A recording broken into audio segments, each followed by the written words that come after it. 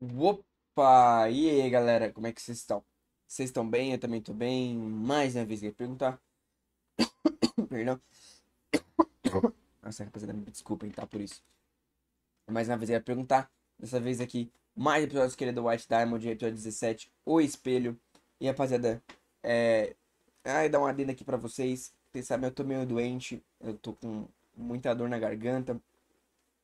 Então tá difícil continuar é, mantendo aquela frequência alta que a gente tá fazendo de dois, três vídeos por dia, tá? Mas amanhã eu prometo que já vai estar tudo certinho aqui no canal. Amanhã, certinho, amanhã cedinho, meio-dia, que nem sai sempre, vai sair um novo episódio de Rasguinho Hotel, que eu já vou gravar hoje, tá? Já vai estar disponível no sistema de membros. E de noite sai mais um episódio da White Diamond, tá bom? Vou pegar mais esse dia de hoje aqui para descansar, para dar aquela melhora. E também, claro, para já adiantar essas coisas de amanhã, deixar já no membro para eles ter antecipado, né? Mas fiquem tranquilos, vai voltar tudo normal. E peço desculpas, tá? A vocês aí por esses imprevistos, tá ok? E sem muito mais delongas, vou só agradecer a eles aqui, os membros do canal que ajudam muito o canal de pé. Muito obrigado por esse apoio incrível que vocês dão pra gente, de verdade. Eu temos a agradecer, são muito fera. Vocês a gente não aqui, então muito, muito obrigado. E sim, galera, sem muito mais delongas, bora lá. Opa.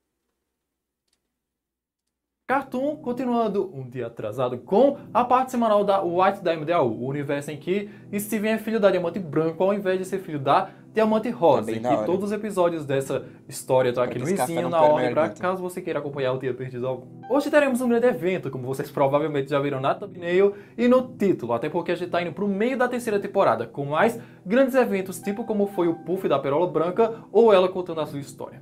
Ah, e só fazendo uma triste correção aqui. Na parte passada eu disse para vocês que Steven falou que Ametista e Pérola ficavam ocasionalmente, sendo que a frase que ele diz exatamente é Apesar de que a Ametista me disse, ela e Pérola costumavam ficar. Sim, uma frase que acaba ambígua ou com duplo sentido, porque tanto você pode entender que a Ametista está falando dela mesma, que ela ficava com a Pérola, ou que ela é, está falando... É um ficar, tipo, de, pô, tamo aqui junto, tá ligado? É um ficar, tipo, assim... Tamo ali, entendeu? De Rose, só que com ah, esse balão é, é a continuação da afirmação do Steven que Rose e Greg namoram e conhecendo no histórico, é mais provável que a mentista se referisse a Rose que costumava ficar com a Pérola. O que entristece os fãs da Opal, só que levanta o questionamento de que Steven falou isso logo após ele afirmar que Rose e Greg namoram e também falou que não sabe se Pérola e Rose ainda Eu ficam porque a coisa delas é complicada. né? Então, se as duas ainda têm algum rolo, atualmente, é, o nome disso é traição. Não que esse conceito exista para jeans.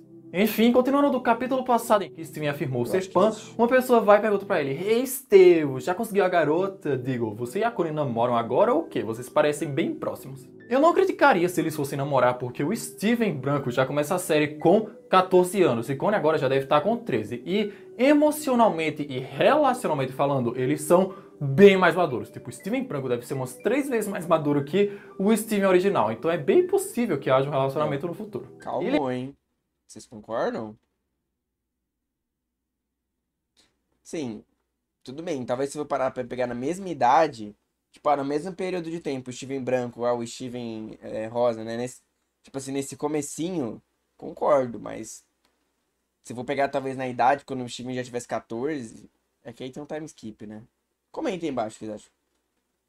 Ele lê essa pergunta com a cara envergonhada, não sendo para menos, já que Connie estava para encontrá-lo ali no celeiro, chegando um pouco atrasada e resmungando que se atrasou porque a senhora Mahecharan decidiu levá-la para o evento no shopping com o time de tênis dela de novo. Porque de repente ela passou a se preocupar com a vida social da filha e veio perguntando: Ah, Connie, por que você só tem esses amigos virtuais e nenhum físico? Respondendo que deve ser porque eles se mudam tanto de cidade que não dá para ela manter nenhuma amizade física por muito tempo, e mesmo assim nem era muito próxima daquelas pessoas. Tudo que aquelas garotas gostavam de fazer era falar sobre namoro, garotos, romance. E ela está exausta disso, não quer saber e não se interessa nem um pouco, com Steve com a cara toda xoxa pensando. Ainda bem que ela falou antes de mim. Terminando esse capítulo com ela agradecendo a ele por ouvi-la e ser o único que a entende, dando os ombros para nós, porque essa questão do namoro e do romance vai ter que esperar para outra ocasião. No capítulo seguinte, também no Tumblr, pedem pro Steven olhar um blog chamado O Estranho Mundo de Betsiri, que ele pergunta se oh, é algum blog de turismo blog e tal, Ronaldo. sendo que descobre que também é um Tumblr. Pausa necessária para admirar o desenho barro look do Steven nesse momento. O menino tá todo estiloso com um gorro, camisa preta, jaqueta e um colar ironicamente de diamante e unhas pretas. Um look então... que se eu fosse imitar, claramente não ficaria bom em mim como fica nele. Pra quem não lembra, rapaziada, dá só um pause aqui pra comentar um bagulho. Eu sei que eu acabei de comentar isso no começo do episódio, mas como eu sei que tem gente que pula, eu vou comentar aqui rapidinho, só por cima. Rapaziada, tô bem doente, não tô muito legal, então a frequência é, caiu um pouquinho. Tá tendo vídeo todos os dias, como sempre teve, mas normalmente tá tendo dois vídeos por dia. E trago conteúdo exclusivo por cima de membro. Então não tava conseguindo continuar gravando naquela pegada, ainda mais pra postar, tipo, nos horários certinhos, tá bom? Mas amanhã já vai estar tá tudo voltando normal. Amanhã, meio-dia, sai Rasbin Hotel, tá bom?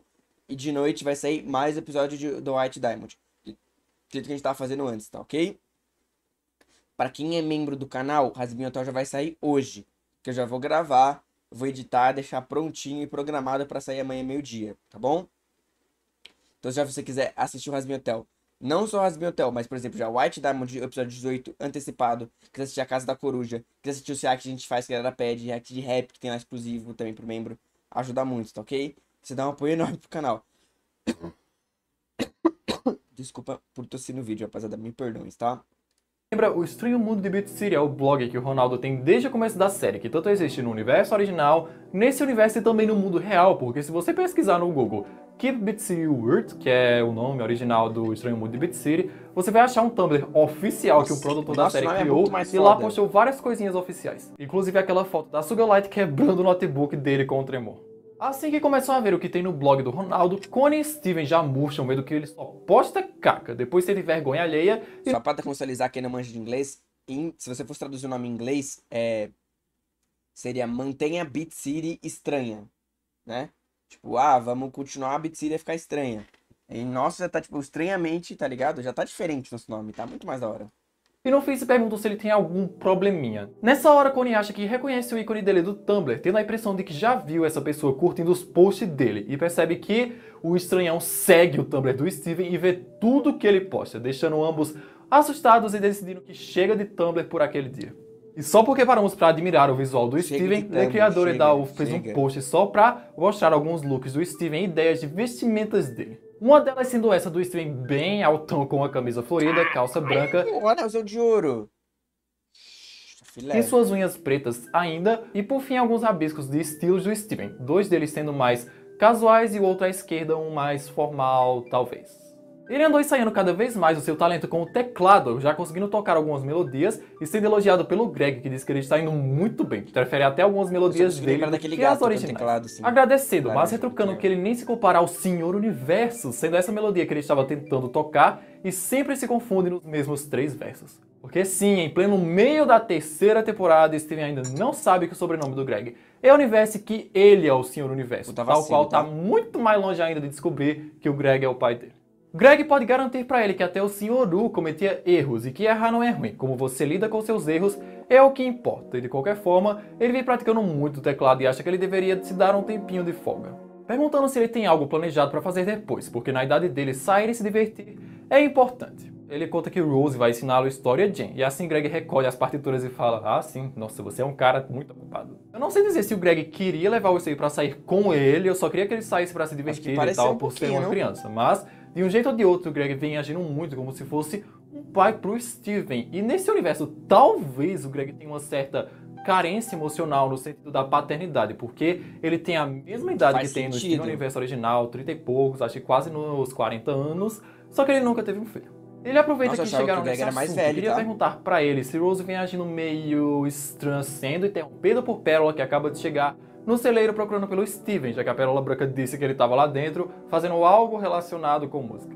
Só especificando aqui, galera, ninguém da U chama a Pérola Branca de Pérola Branca. Ah, então por que você chama ela assim? Pra ficar Pô, mais fácil de é todo mundo entender. entender né? Por mais que às vezes que tem uma cena que envolve as duas pérolas, eu fale a palavra pérola umas 80 vezes. O nome que a chamam na U é Earl, pérola em inglês, só que que sem a gente já falei que tem que fazer a tradução pro Brasil e ser Érola. Steven vetou para ela na segunda temporada quando mentia para o Crystal Jace dizendo que ela era uma humana. Eu não chamo ela de Earl porque na nossa língua e no nosso vocabulário isso soa meio podre, ou até mesmo a tradução que seria assim? Érola. É um Érola. universo alternativo da Diamante Branco. Então Perfeito. chamar essa pérola de Pérola Branca cabe perfeitamente. Até porque para mim isso, a Pérola cara, Rosa é o fim da série que não tem quase nada a ver com a personalidade dessa Pérola Branca. De qualquer forma, comenta aí se vocês querem que eu chame ela de Earl, Erola. Erola, Erola, Erola. adaptação, dublagem do nome, ou continue em Pérola Branca mesmo.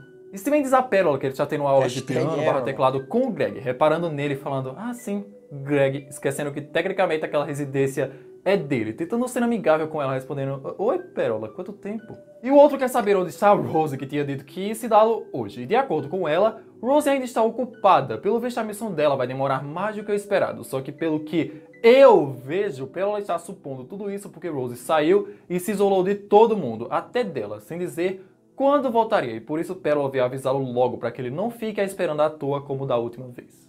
Lembrando, gente, que esses capítulos foram todos lançados depois que o episódio Voleibol saiu e a confirmação de que Rose barra Diamante Rosa foi quem quebrou o olho da Pérola Rosa. Então, sei lá, quem sabe ela não se isolou porque se sente muito culpada. É, e cara- todas as mudanças negativas vai que se aconteceram na vida da sua sim. Pérola depois não desse negativamente, acontecimento né? Mas vai aproveitar. ele se choca com aquilo, porque já fazem três na dias que a mulher saiu e não deu mais as caras, começando a pensar o pior de que o transportador pode ter quebrado ou um monstro de apufor. E Greg acha que já deu hora dele ir embora, né? Não é nem um pouco confortável ver essas possibilidades da sua amada alienígena. Ele se despede de Steven e Pérola, não fazendo uma cara muito amigável de volta pra ele. E eles continuam a conversa, com Steven querendo sair pra procurá-la, com ela explicando que na verdade isso é bem comum da Rose sair e passar dias fora. Só que ele acha que pode ter algo a ver com o dia em que a Pérola Branca se reformou, onde ela saiu chateada de lá e por ter sido a última vez em que ele a viu. Agora que ele falou, Pérola também acha que ela agiu estranho depois da história da Pérola Branca, só que de toda forma, sempre falar sobre o planeta natal a chateia. Não sei porque a Pérola tá bancando a Sonsa, como se não soubesse, porque ela sabe muito bem que a Pérola Branca na verdade é rosa e era a Pérola antiga da Rose. Meu Deus do céu, é claro que ela sabe disso. Ela pode não saber do olho, mas que sabe que era da Diamante Rosa, sabe. Então é Teria claro que que, saber, né? a história dela, alguma coisa relacionada a esse passado, ia chatear muito a Rose. Óbvio que com isso, Steven tinha que achar uma maneira de se culpar e achar que ela está sumida por causa dele, porque sempre É, tem aquela coisa da história da guerra e da invasão de- no planeta natal. Não é a dele né? estar o evitando. Não Tudo que devia ter acontece de a reviver é suas culpa memórias dele. traumáticas quando ele mesmo podia ter pesquisado em livros, por exemplo. Aí Perola, livros? Perguntando a ela se tem algum livro de história Jane que ele possa ler.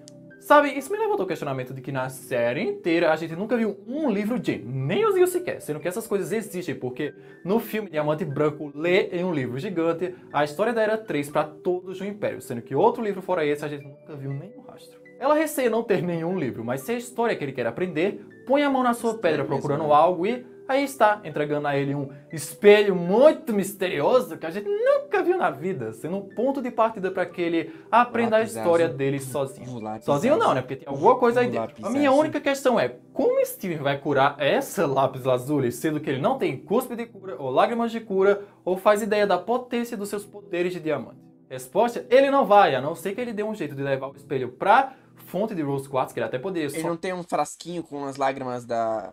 Com a água da, da, da rosa? pegar um transportador, ou achando aquele vidrinho que ele Ah, teve de é. lágrimas pra curar Eu tô a à frente, branca, só que rapaz. perdendo no quarto da ametista. Steven claramente postou no seu Tumblr que ganhou aquele espelho, e o pessoal questionou pra ele, é, como carambas um espelho vai te ensinar a história? E ele não faz ideia, porque a Perola foi tão genial que falou a ele que todos os eventos da guerra estão gravados lá, só que não ensinou o menino a usar. Parabéns, hein? Foi o mesmo que cagar e não se limpar. Ele acha que aquilo deve ser algum tipo de espelho comum de Jen. Tem até uma pedra Jen atrás dele, perguntando à Pérola Branca se ela tem ideia de como usar aquilo. Ela vai e faz uma interrogação no ar, entendendo que ele deve perguntar algo para que o espelho seja ativado por voz, não sabendo ao certo. Então perguntam algo que eles já sabem de certeza. Qual foi o tipo de Jen responsável pela invasão inicial da Terra e sua colonização, olhando ambos para o espelho, aguardando. Porém, não acontece nada. Você nem sabe se aquela coisa É, entende a língua deles. tá porque se só entender língua Jen, aí ferrou. Porque a única deles que sabe falar não pode falar.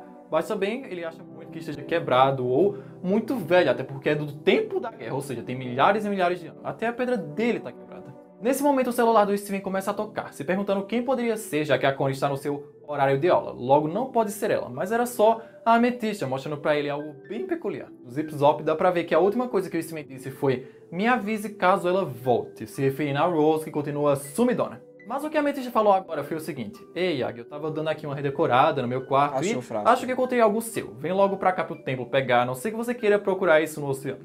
E só por esse pedacinho da imagem sabemos o que é. Exato, o frasco de lágrimas da Rose que ele pegou e perdeu há 10 mil anos atrás.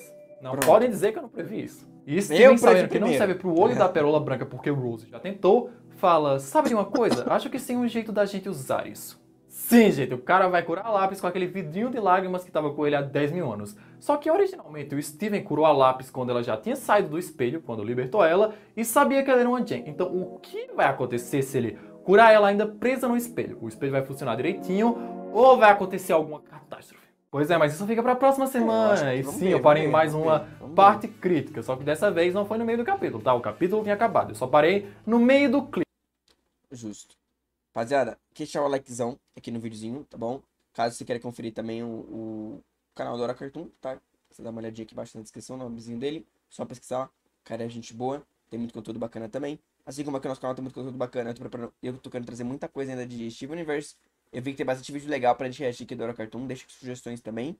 E eu vi que tem até umas coisas legais aqui pra fazer interativo. Vamos tentar fazer alguma coisa diferente. Mais uma vez eu peço desculpas se caso eu tossi durante o vídeo ou pela frequência diminuir um pouquinho aqui do canal.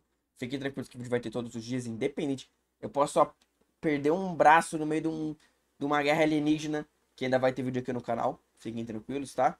Mas, é, por isso que tá só, né, desculpa que tá um pouquinho fora de horário as coisas, mas vão tudo se ajeitar. E amanhã já vou deixar tudo prontinho pra a gente ter vídeo meio-dia, tá bom?